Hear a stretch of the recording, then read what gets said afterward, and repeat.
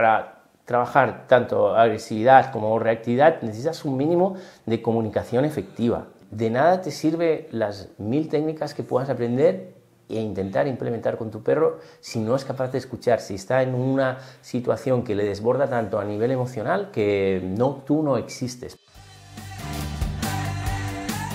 Muy buenas, bienvenido, bienvenida a este nuevo episodio. Ya vamos por el episodio número 23 de Mi Perro Educado. Ya sabes que en este espacio ayudo a personas como tú a que sus perros sean el miembro más educado de la familia. Yo soy Manuel de Canine Service y voy a estar acompañándote durante la próxima media horita. Y hoy en el episodio de hoy vamos a hablar de cómo hacer para que tu perro no sea agresivo con otros perros. Y bueno, pues es un tema que realmente es complejo y que bueno, requiere de, de realmente implicación ¿no? por parte pues, del guía, por parte del tutor del perro, para poder conseguir cambios significativos en su comportamiento. Antes de seguir con el tema, eh, os dejo el link para el acceso a la formación, o más que a la formación, al programa Mi Perro Educado. Sabéis, si habéis estado siguiendo estos días, que hemos eh, abierto las inscripciones para nuestro programa formativo. Así que os voy a dejar por aquí el link en el chat. Ahí os lo dejo, ahí os ha aparecido, ¿vale?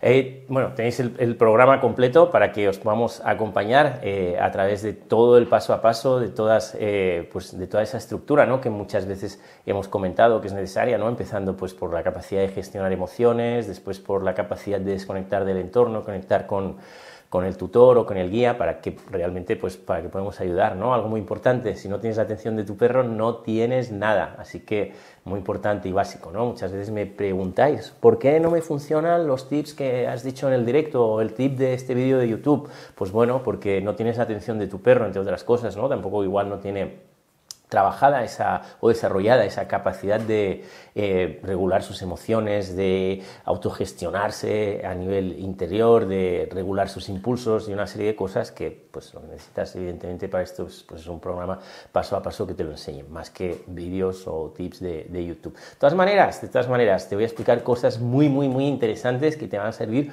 un montón durante este directo. Y ya para acabar con el tema del el programa Mi Perro Educado, decirte que tienes acompañamiento también en los que entréis tenéis acompañamiento todas las semanas, podéis acceder a clases en directo en las que podéis presentar vuestros trabajos, vuestras dudas, eh, vídeo con el comportamiento de tu perro y demás, para no sentiros solos, para realmente pues, ir acompañados de la mano de, pues, pues, de un profesional o de un equipo de profesionales que os puedan pues, guiar y llevaros hacia ese objetivo, ¿no? que al final cuál es ¿no? el objetivo, el destino, ¿no? Pues, oye, convivir pues, de una manera pues, tranquila y de una manera pues, en paz con nuestro perro y con el entorno y todas esas cosas, ¿no? Sin que nos esté dando dolores de cabeza. Y venga, vamos a seguir. Decirte, si te interesa el tema este de hoy, quédate hasta el final. Al final te voy a compartir eh, contenido de mucho valor. Vamos a hablar del proceso en sí, de, de algunas técnicas y decirte que probablemente este directo no esté por mucho tiempo subido. Así que te repito, si te interesa este contenido de hoy, el tema de hoy, quédate y así aseguras de no perderte toda la información de valor que voy a estar compartiéndote y voy a estar dándote. ¿De qué situaciones vamos a hablar? Hoy, bueno, básicamente agresión perro-perro. Nos vamos a centrar en agresión perro-perro en el último directo hablamos de reactividad perro-perro, tenemos que tener clara cuál es la diferencia entre agresividad y reactividad. Venga, a ver si me lo ponéis en, en los comentarios, chicos. ¿Qué diferencia hay entre un perro que tiene agresión, un perro que es agresivo y un perro que es reactivo? Venga, estas son cosas importantes que ya tenemos que ir sabiendo. Ya hemos hablado muchas veces de esto. A ver quién me lo dice. Bueno, nadie me dice la respuesta. Tenemos que interaccionar, ¿eh? Tenéis que pensar un poco, no solo irme a mí. Agresivo hace daño, heridas graves y reactivo no. Tati, genial. Bueno, alguien que lo dice bien. Perfecto, genial. Muy bien, Tati, eso es. O sea que Reactivo es una reacción, ¿no? Es una reacción que no tiene por qué estar o no está ligada, ¿no? no es intrínseca a, querer hacer daño, ¿no? No hay una intencionalidad de agredir. Cambio, un perro agresivo es de agredir, de causar lesiones, eso es, eso es el, comportamiento, ¿no? Lo que quiere eh, conseguir con ese comportamiento. Fijaros que bueno, ahí hay un matiz que es importante, ¿verdad? Ah, muchos perros son reactivos, agresivos, no tantos, no tantos. ¿Puede la agresividad, eh, la reactividad llegar a, mm, acabar en agresividad? Puede, por supuesto. Todo es un aprendizaje y los aprendizajes no son estáticos en muchos casos, son, pues son dinámicos y podemos pasar de un problema a otro. O sea que em, sí, sí, sí, sí, se puede. Entonces, si, si tú tienes problemas de reactividad, estás seguro que tu perro no es agresivo, te recomiendo que igualmente mírate este directo, escucha, porque realmente las técnicas son bastante parecidas. Hoy vamos a hablar también, algo que no, hemos tocado mucho, eh, sobre la etiología, sobre eh, la causa, ¿no? Porque depende de, qué causa esté em, provocando esta agresividad, vamos a hacer una serie de cosas diferentes dependiendo de la, de la, causa, ¿vale? Luego, luego profundizamos en esto. Entonces, para que tengáis las expectativas claras, este, eh, todo lo que os voy a compartir aquí, evidentemente, tienes problemas de reactividad, tienes problemas de agresividad, te interesa saberlo, pero no creas que mm, si tienes un problema importante de agresividad, tu perro ha causado ya lesiones, eh, realmente eh, entra en agresión, una agresión importante. Y como te digo, ha causado lesiones, no te creas que viendo este directo y haciendo las cosas que te voy a hacer así que vas a aprender en, en un momento, vas a solucionar esa problemática, ni de coña, ni de lejos, o sea, ni de lejos, o sea, no, no, no tengas esa falsa expectativa porque reconducir un comportamiento agresivo, una serie de comportamientos agresivos, realmente no pasa únicamente por ver un vídeo de media horita o de 10 minutos y, lo que he, oído lo pongo en práctica y ya está, ¿vale? No, o sea, olvídate, tienes que, tienes que, si estás en ese punto, tienes que saber que tu perro tiene un problema importante, que tú tienes un problema importante y que vais a tener que transitar por un proceso, ¿vale? Y ese proceso, pues, va probablemente a tomarte algún que otro mes, ¿vale? Algún que otro mes de trabajo hasta que tú aprendas cómo gestionar, ¿no? Y cómo, cómo, gestionar sus comportamientos y cómo ayudarle a, a, manejarlos, ¿no? A, manejarse tanto a nivel interior, a nivel mm, pues, emocional, como a manejarlo tú pues desde fuera, ¿no? Desde, desde la correa y desde las indicaciones que le vayas dando. Así que no es algo que sea difícil, pero evidentemente es algo que requiere de un proceso.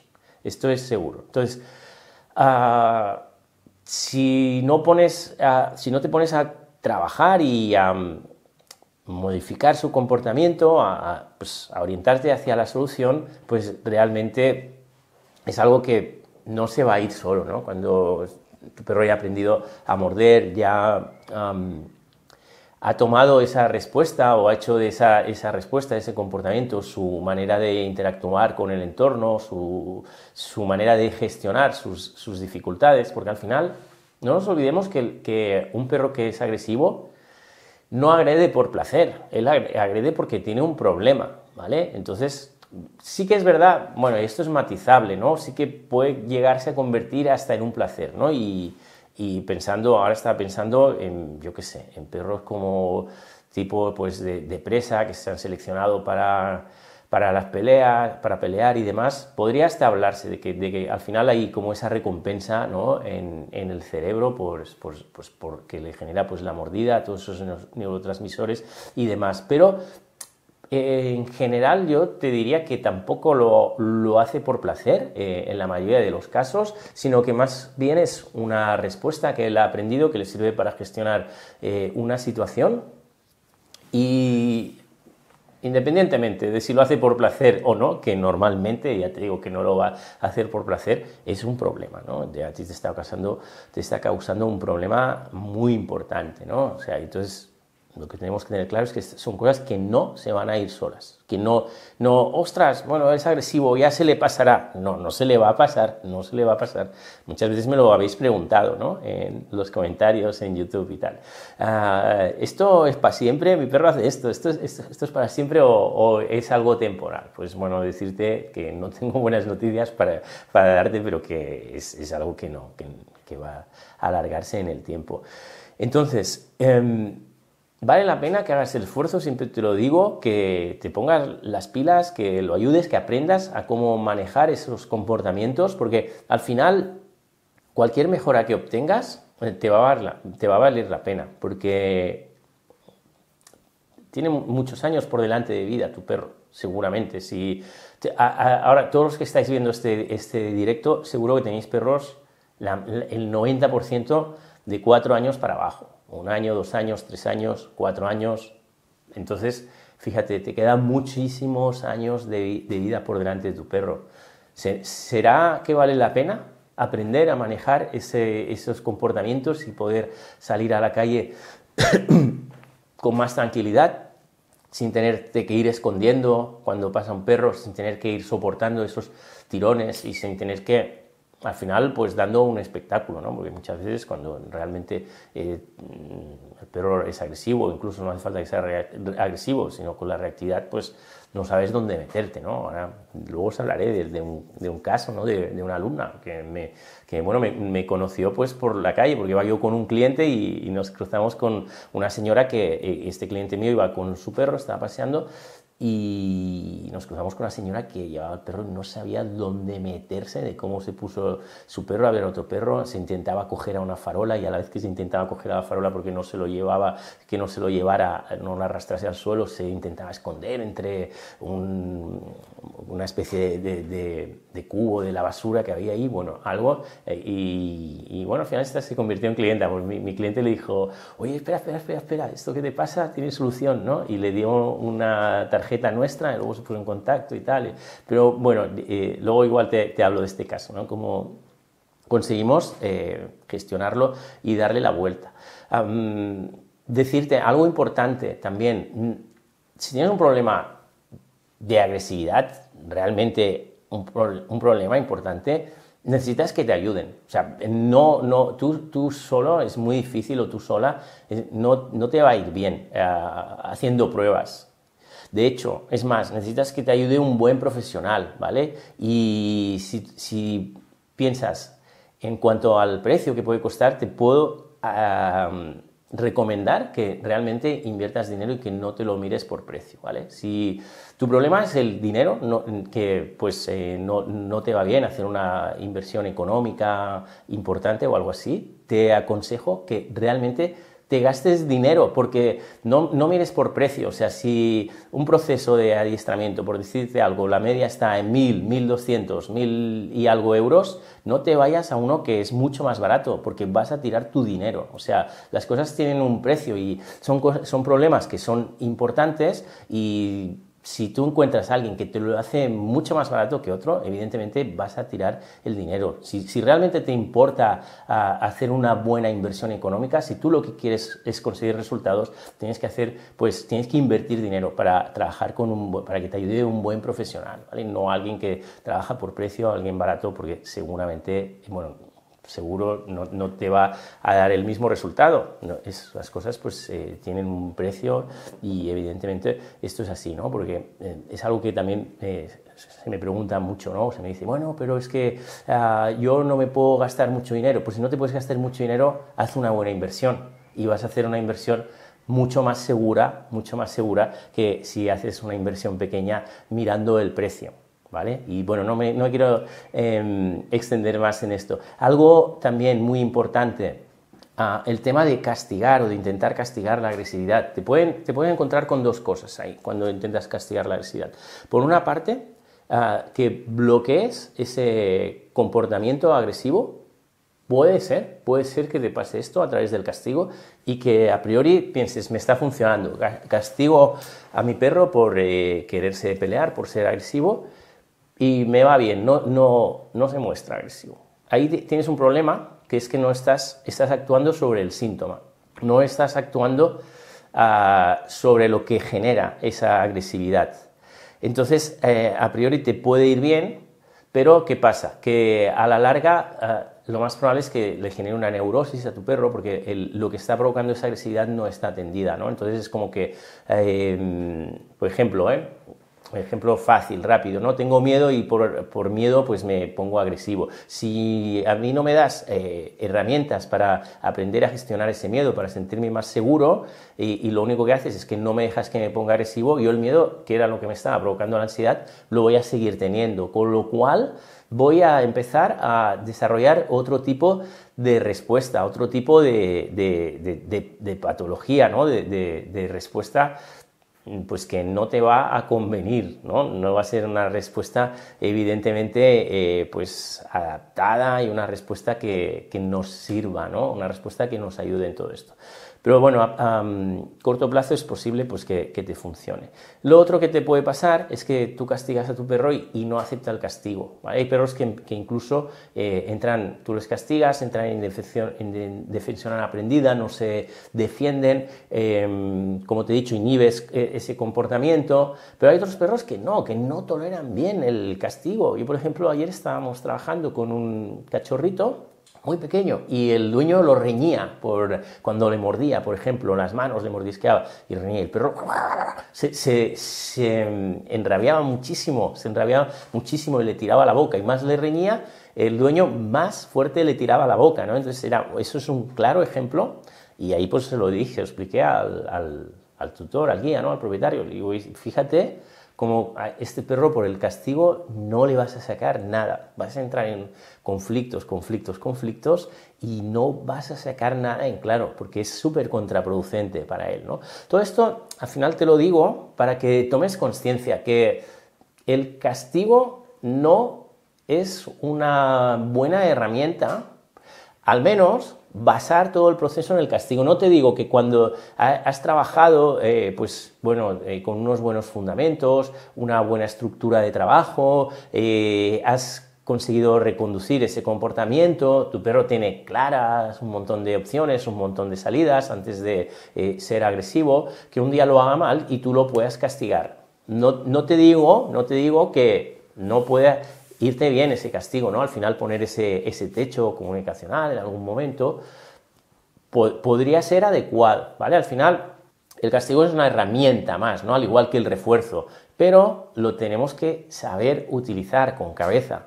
No podemos basar los procesos de aprendizaje, de modificación de un comportamiento en base a castigo, castigo, castigo, castigo, castigo, te estoy castigando sin que tú ni siquiera sepas lo que tienes que hacer. Esto evidentemente es súper contraproducente y es lo que eh, tendemos a hacer cuando no desconocemos pues, eh, la vía, digamos, más adecuada o, la, vía más, sí, más adecuada, ¿no?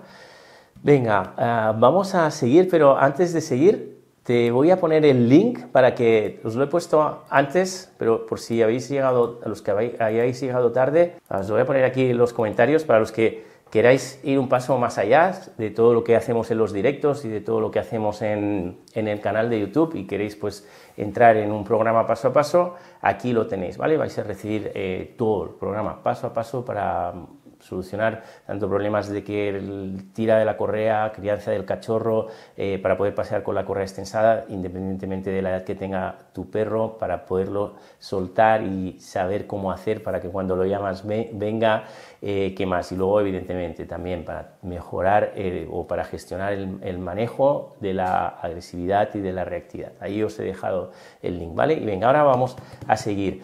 ¿Cómo has de organizar el trabajo? Pues bueno, al final muy importante, primero siempre empezamos por las bases, o sea, necesitas un mínimo, como te, como te digo, para trabajar tanto agresividad como reactividad, necesitas un mínimo de comunicación efectiva. Entonces, como siempre, capacidad de escucha, que tu perro te sepa escuchar, sea capaz de escucharte. Em, de nada te sirve las mil técnicas que puedas aprender e intentar implementar con tu perro si no es capaz de escuchar, si está en una situación que le desborda tanto a nivel emocional que no, tú no existes, porque al final tú eres su guía, tú eres su guía tanto emocional como, como de la persona, o sea, tú eres su, su brújula emocional y eres eh, además su brújula en cuanto al comportamiento, o así debería ser, ¿no? Entonces, tienes que aprender algo muy importante a trabajar en esas distancias adecuadas en las que todavía existe comunicación entre tú y él. El problema es que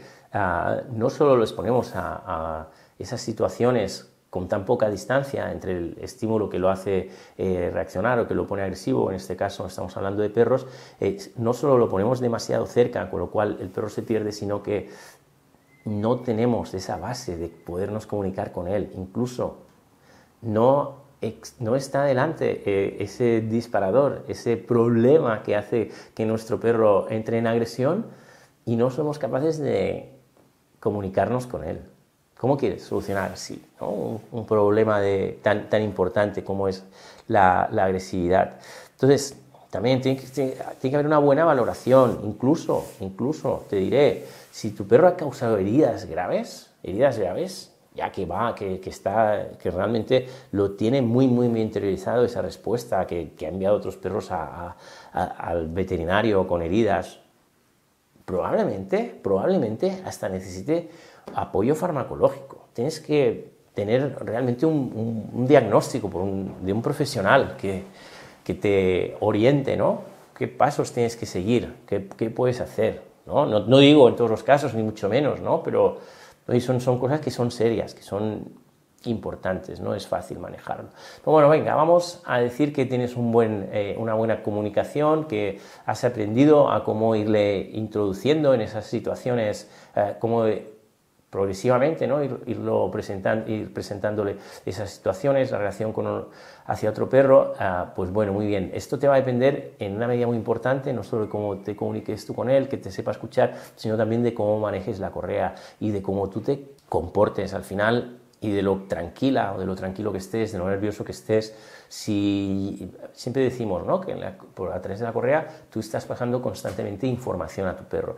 Con tu comportamiento, ¿no? con tu lenguaje no verbal le pasas información y una parte de tu lenguaje no verbal evidentemente es la tensión que tú eh, tienes en tu cuerpo y esa tensión ¿no? que tú estás experimentando, esa tensión la estás transmitiendo también a través de la correa. Claro, tú tensas ahí la correa, pues le estás pasando tensión, ¿no? Y todo eso, pues ah, lo único que genera, pues es más tensión en tu perro. Con lo cual, también algo importante, tienes que aprender a manejar pues eh, técnicas básicas y no tan básicas, pero para empezar pues técnicas básicas de manejo de correa, saber no transmitir esa tensión, también relajarte tú, algo bastante importante, y a partir de ahí ya pues vas teniendo como más opciones, ¿no? Para poder implementar pues técnicas, técnicas que estén orientadas pues al manejo de, esa agresividad, ¿no? Incluso de la reactividad, ¿no? Que al final el proceso es bastante parecido. Eh, tenemos, te comunicas con tu perro, él te escucha. Tenemos, nos destensamos, aprendemos pues a, estar menos tensos, a no transmitirle esa tensión de la correa. Pues bueno, a partir de aquí ya podemos tomar diferentes caminos, ¿no? Al final, eh, algo muy importante, fíjate, porque también deberíamos entender, ¿no? En la medida de lo posible, ¿por qué es agresivo mi perro? Porque le han mordido, ha aprendido a relacionarse, ha tenido malas experiencias y a través de esas malas experiencias al final ha desarrollado pues esa manera de relacionarse con los otros perros, esa manera defensiva. Es porque le faltaban habilidades sociales, es, muy bruto y eso ha provocado que al final acabe eh, inmerso en peleas, siempre sumergido en, peleas, provocando conflictos y se ha desarrollado pues al final pues esa, agresividad venía de serie, es un perro que siempre ha sido muy agresivo con, los otros perros, ya de pequeñito veía un perro y, se lo quería comer. Claro, habrán matices, ¿no? Habrán cosas muy diferentes a la hora de cómo vas a orientar ese proceso. Pues no sé, ¿no? En el segundo caso, pues eh, probablemente vamos a empezar pues desarrollando pues más las habilidades sociales. En el otro caso, eh, es que ahora es, difícil, ¿no? Eh, poner en contexto. Pero siempre yo creo que es muy importante que tengamos en cuenta qué, está moviendo, ¿no? qué está provocando esa agresividad. Ah, luego, algo también muy, muy importante, eh, el tema de mm, ya cuando empiezas a trabajar un poquito más, primero sería como paso uno, yo te diría, intentar eh, tener eh, claro que, que mueve ese, ese comportamiento, que está provocando ese comportamiento. Paso dos, por todos los medios, intentar bloquear esa respuesta, inhibir esa respuesta, ¿vale? De que tú puedas empezar a, a caminar por la calle sin que eh, ladre o sin que quiera abalanzarse de manera agresiva a, los otros perros. Eso es muy importante. Y a partir de ahí, al final, después, el perro, claro, es un ser, un animal que tiene necesidades sociales, ¿no?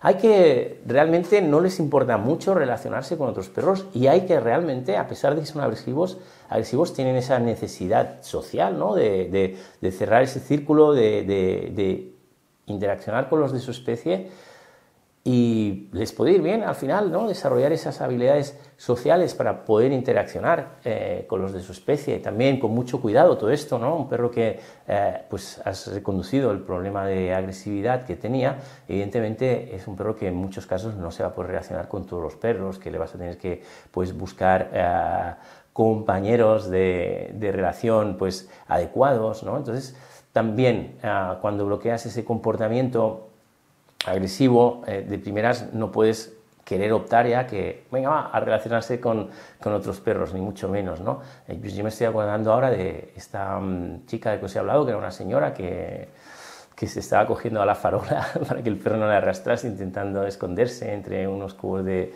de basura, al final, pues conseguimos que el perro era un perro que, bueno, era de, tamaño medio y, pues bueno, tenía agresión, ¿no? Pues conseguimos al final que entrase en, comunicación eh, directa con otros perros, que empezase a relacionarse poquito a poco, algo muy importante también, ah, pues todo, con, todo siempre es muy progresivo, así que al principio pues simplemente era entrar, eh, oler al otro perro, o sea, acercarse al otro perro sin ladrar, olerlo e irse, poco a poco ir desarrollando la interacción. Y algo muy, muy, muy importante, muy importante es que en cualquier momento de la interacción, pues la, la, tutora, la guía, estaba muy entrenada a, interpretar el lenguaje de su perro, a estar observando si había más tensión, si, si, si mostraba que se estaba poniendo tenso y el perro también estaba muy, muy, muy entrenado a cuando había tensión volver hacia el guía, ¿no? Una llamada pues muy firme, trabajada, ¿no? Entonces como que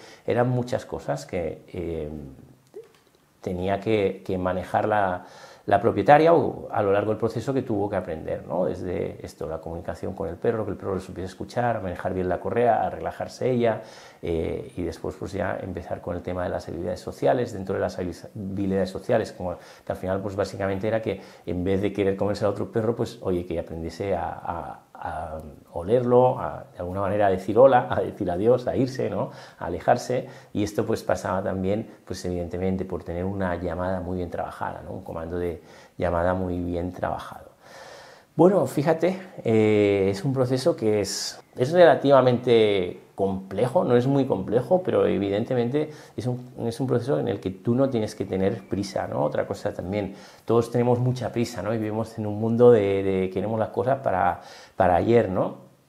Y realmente tú puedes hacer las cosas todo lo bien que, que se puedan hacer, pero tu perro necesita ah, pues transitar por ese, por ese proceso y habrán perros que puedan transitarlo pues, de una manera más rápida que otras. Habrán perros que, eh, con los que conseguirás mejores resultados que con otros. También no es una ciencia exacta esto de la modificación conductual en un perro, ni mucho menos. Pero lo que sí que te quiero decir es que puedes mejorar la situación en la que estás ahora mismo y la puedes mejorar de, de una manera pues, eh, muy importante, seguro, en el me atrevería a decir, en el 97-98% de los casos, haciendo las cosas bien. Bueno, recuerda, si aplicas, si eres capaz de, transitar por, este proceso y eres capaz de aplicar todos estos pasos que te he ido diciendo, pues evidentemente vas a conseguir poder pasear mucho más tranquilo con tu perro, vas a poder eh, conseguir liberarte tanto a él como a ti de todo ese estrés que os está provocando y bueno, vas a empezar a disfrutar mucho más de, los paseos y de la relación que tienes con él, ¿vale? Así que antes que de despedirme, os voy a dejar otra vez el link al programa Mi Perro Educado, ¿vale? Tenemos las inscripciones abiertas, las vamos a cerrar este domingo y ya tardaremos eh, pues unos meses en volverlas a abrir porque pues no podemos tenerlo siempre abierto porque tenemos pues las clases en directo, tenemos que atender a todos los alumnos, tenemos que atenderlos bien, así que las plazas, las plazas son limitadas. Es así que nada, ahí lo tenéis en los comentarios, si estás en YouTube lo tienes en los comentarios, si estás en Facebook también en los comentarios. Nada más, decirte, nos vamos a ver y vamos a hablar del cachorro, de cómo orientar el tema de sus necesidades. Nada más, me voy a despedir de ti, pero antes pedirte, si estás viendo este directo en YouTube y no te has suscrito todavía al canal, pues oye, te invito a que te suscribas, a que le des a la campanita para que YouTube te notifique cuando subo nuevos contenidos y si estás viendo el directo en Instagram o en Facebook, dale a seguir la cuenta si todavía no la estás siguiendo. Y nada más, me despido de vosotros hasta el viernes que estamos en directo. Chao, chao.